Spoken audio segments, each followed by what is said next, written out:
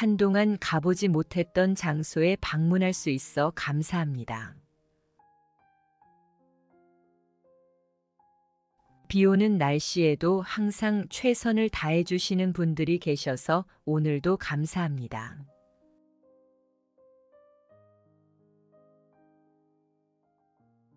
매일매일 안전하게 운행할 수 있어 고맙고 감사합니다.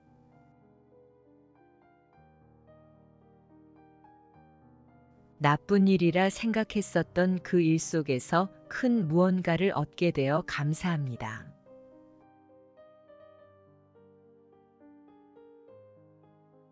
오늘도 편리하고 수월하게 모든 일들을 마무리 지을 수 있어 감사합니다.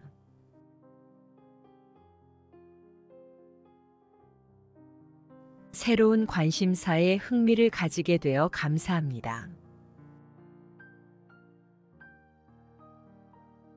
경험하고 경험해 볼 수 있는 현재에 즐겁고 감사합니다.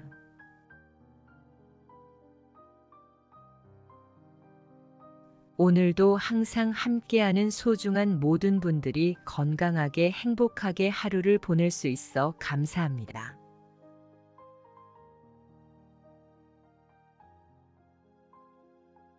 평범한 일상에서 오늘도 아무 일 없이 무탈히 잘 보내어 참으로 감사합니다.